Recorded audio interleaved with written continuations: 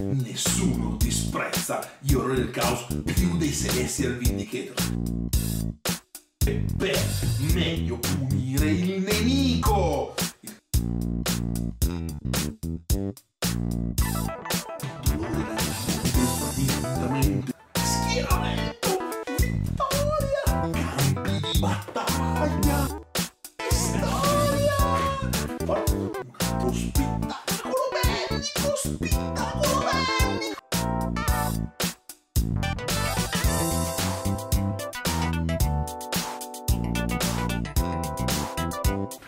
Galattici amici, ma soprattutto galattiche amiche, bentornati alla vostra domanda fondamentale. La domanda di oggi che ci pone un nostro caro amico è cos'è Warhammer Conquest? Ora, Warhammer Conquest in realtà molti di voi già lo conoscono perché sta uscendo in edicola eccetera eccetera, però visto che alcuni ancora ci si pongono questa domanda perché magari erano rintanati in alcune parti del mondo in angusti scantinati piuttosto che tane o antri del paese ellici o meno, cos'è Warhammer Conquest? Warhammer Conquest non è null'altro che un'uscita settimanale di fascicoli con allegate delle miniature di Warhammer 40.000. L'opera si chiama appunto Warhammer 40.000 Conquest e in quest'opera abbiamo dei simpatici fascicoli che ci aiutano ad approcciare al lobby, quindi in edicola settimanalmente o tramite abbonamento una volta al mese con una spedizione, poi qualcuno in realtà mi dice che a seconda di dove abita potrebbero arrivare con più o meno ritardo. Noi abbiamo questi bei fascicoli. Cosa troviamo all'interno di questi bei fascicoli? Beh, all'interno di questi bei fascicoli troviamo il background, quindi troviamo un po' di storia riguardo ovviamente eh, il nostro 40.000, in particolare in questo caso visto che i modelli sono abbastanza recenti, si parla dei nostri amati Space Marine contro la uh, Guardia della Morte,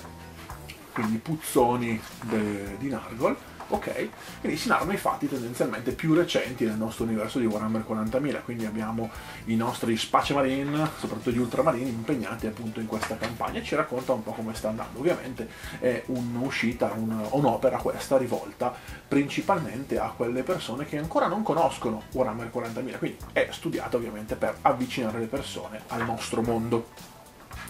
come dicevo appunto ci sono bellissime immagini, illustrazioni, foto di miniature, primaries soprattutto ovviamente in questo caso, e poi ci parla un po' anche delle vecchie storie, quindi si parla anche un po' di chi era l'imperatore, chi erano i primarchi, eccetera, eccetera. Vi faccio vedere un po' di capitoli, per esempio, e tutto quanto. Ma non solo, quindi non abbiamo soltanto tutte le storie, poi non so se riuscite a vederlo, l'ho apprezzate, ci sono i buchini, ovviamente perché ci sono dei fascicoli raccoglitori in cui poi tutta l'opera può essere facilmente, ovviamente, letta e apprezzata. Ma non solo, in tutto questo abbiamo anche ovviamente una parte che qui non c'è nel primo fascicolo che è dedicata in realtà anche alla pittura. Quindi ci sono anche eh, dei, delle mini guide possiamo chiamarle così sulla pittura il collezionismo il gioco eccetera eccetera. Quindi questo per esempio il primo fascicolo era legata a una erano anche tre miniature in realtà non mi ricordo. Sembra dipingi intercessor c'erano tre appunto campeggiano qui di fronte pirla anch'io ovviamente i tre intercessor direttamente qui da assemblare ovviamente non aspettiamoci lo dico soprattutto per chi già conosce bene questo hobby eh, miniature da scatola normale da negozio. Sono in realtà easy to build quindi solitamente quelle in incastro proprio per facilitare ovviamente si avvicina il gioco. Devo vedere poi qui c'è la pubblicità della seconda uscita con varie altre cose eccetera. Poi perché è interessante? Beh, appunto, perché ci sono in particolare questo numero qui che è il numero 5, un modello in edizione limitata, quindi un modello che è acquistabile soltanto acquistando il numero 5 di Warhammer Conquest, altrimenti questo modello di sergente Space Marine non lo trovate da nessun'altra parte, ok? Questo eroe particolare lo trovo soltanto qui, in questo numero ben sigillato oltretutto. Uh, ovviamente ci sono possibilità anche di abbonamento come tutte le opere in edicola abbiamo la possibilità di abbonarci per riceverlo a casa. In quel caso ovviamente Games Workshop in collaborazione con la Hachette se non ricordo male sì con la Hachette tendenzialmente ci eh, dà dei regali quindi solitamente attrezzi da modellismo piuttosto che questo è uno dei poster scusate non riesco a capirlo se è incartato maledetto bello ripresa abbiamo anche dei posteroni se volete appenderli nelle vostre case e farle più belle con ovviamente momenti di massacro dedicati al 40.000, ok? Ne avete la possibilità. Qui ovviamente poi ci fa vedere un po', non so se riuscite a apprezzarlo, comunque anche sulla pagina Facebook nostra o comunque in generale esiste anche una pagina Facebook dedicata a Warhammer Conquest, trovate il piano dell'opera, quindi tutto quello che è compreso. Abbiamo ovviamente tutta una fazione di Space Marine dedicati in particolare agli Ultramarine, ma che in realtà poi potete dipingere un po' come volete. Ovviamente tutti i primaries, in questo caso quasi tutti i primaries in realtà mi pare. Qualcosa non primaries c'è. Qui abbiamo poi i puzzoni in argol, tutta una parte di scenici molto bella, colori, pennelli e poi c'è la possibilità di avere ricchi premi quotidiani, ovviamente tutte attrezzature da gioco, dadi, piuttosto che tappetini per giocare, ovviamente non vi aspettate chissà che cosa, non sono i battle mat, quelli che troviamo in negozio, quelli sono di carta, però comunque roba interessante, dovete pensare che sono studiate. Queste uscite tendenzialmente, a parte chi come noi è malato di collezionismo, ah ecco la parte che non trovavo prima, mo, mo la mostro, chi come noi è malato di collezionismo trova un sacco di roba interessante, ma eh, ovviamente dedicata in realtà a chi ancora l'hobby non lo conosce. Uno anche perché a livello economico mi pare che si spenda comunque qualcosa in meno rispetto che non a comprare gli stessi modelli in edicola. Ovviamente qui la scelta è limitata, le cose sono limitate perché giustamente è uscita. Qui dicevo la parte che mancava prima, oltre a tutta la parte di lore, di background, di storia, di ambientazione, eccetera, abbiamo tutta la parte dedicata proprio al modellismo. Qui ad esempio ci vuole l'utilizzo delle tronchesine, come senza ucciderci, tagliarci pezzi di dita falangi, polpastrelli, eccetera, si possano ovviamente togliere miniature dello sprue, come poi vanno spulite, assemblate, con i vari passaggi, vedete qui c'è quello schemino di assemblaggio con la pagina qui, piuttosto che poi c'è la parte dedicata alla pittura, con tutti i vari passaggi dedicati, non so quanto poi si possa vedere bene, in ogni caso se avete poi foto più approfondite ce le chiedete, e poi ovviamente nel senso il gioco, perché è bello anche giocare, quindi condividere amici e fare, anche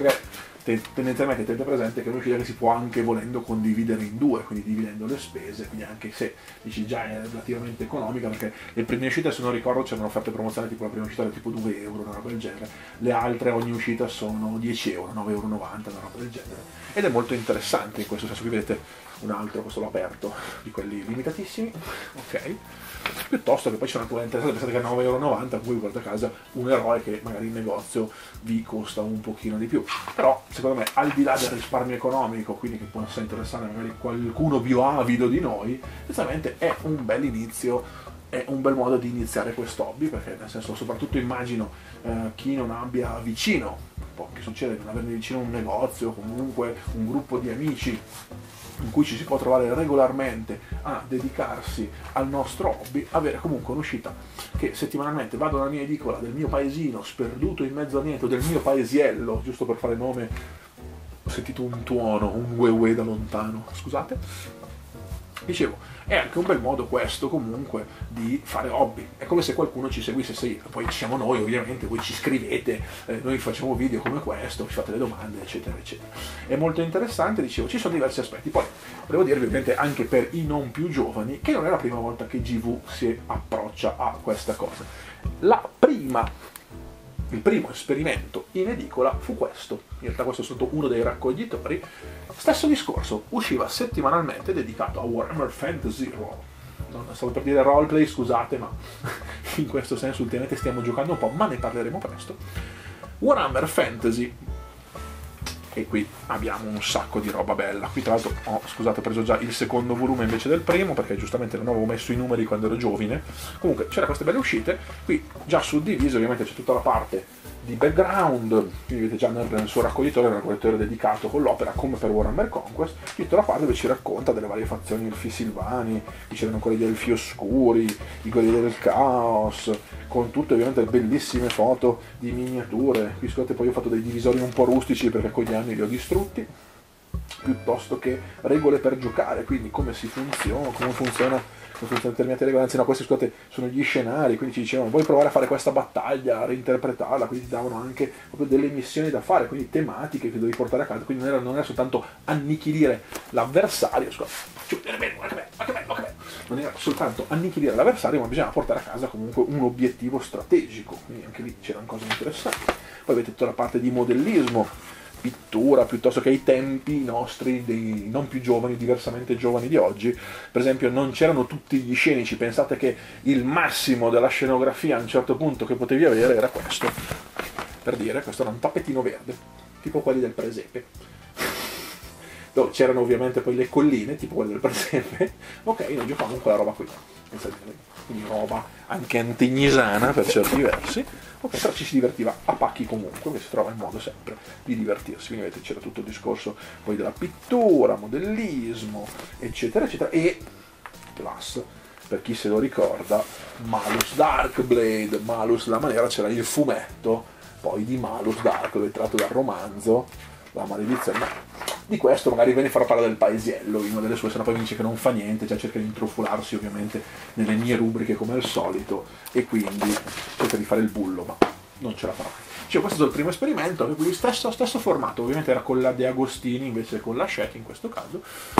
Warhammer Fantasy, uscivano miniature, uscivano colori, uscivano pennelli, c'era ovviamente molto meno tendenzialmente rispetto a oggi, però comunque era tanta bella roba. E anche qui era il modo di approcciare, poi tenete conto che in quel periodo qui non c'era l'internet come lo intendiamo oggi, quindi non tutti ce l'avevano, c'era veramente poco, forse non c'era neanche, ma era comunque diffuso come lo intendiamo oggi. Un secondo esperimento, molto bello, anche se finito non benissimo dal mio punto di vista, questo adorabile, bellissimo, del Signore di Anelli. Qui eh, un po' perché comunque dovete far presente che non è roba GV, nel senso che Signore di Anelli ovviamente sapete che arriva dal signor Tolkien e dall'associazione tolkieniana che piglia i big money dalla GV per ovviamente lasciare utilizzare tutto quello che è il suo, oh, suo marchio. Qui era già diverso, vedete che non ci sono quei bellissimi anelli come nel primo raccoglitore, quindi hanno badato un po' più a spese, tant'è vero che poi, pensate, questi sono i fascicoli, il peso dei fascicoli ovviamente gravava sulla colla che teneva il cosino di cartone appiccicato a questo, quindi tendenzialmente era da maneggiare con molta cura, però comunque molto bello anche questo. Qui avevamo sempre lo solito discorso, il solito formato, scusate, eh, con miniature che uscivano all'interno del fascicolo, qui tra l'altro come c'era proprio tutto il sommario con le mappe della Terra di Mezzo, roba per me, appassionato di Tolkien come tanti altri, bellissimo, qui c'erano ovviamente i fascicolini, nei fascicolini usciva il fascicolo dove appunto con tutte ovviamente le immagini del film del Signore Anelli, quindi tutte bellissime miniature tratte dal film, avevamo poi tutta la parte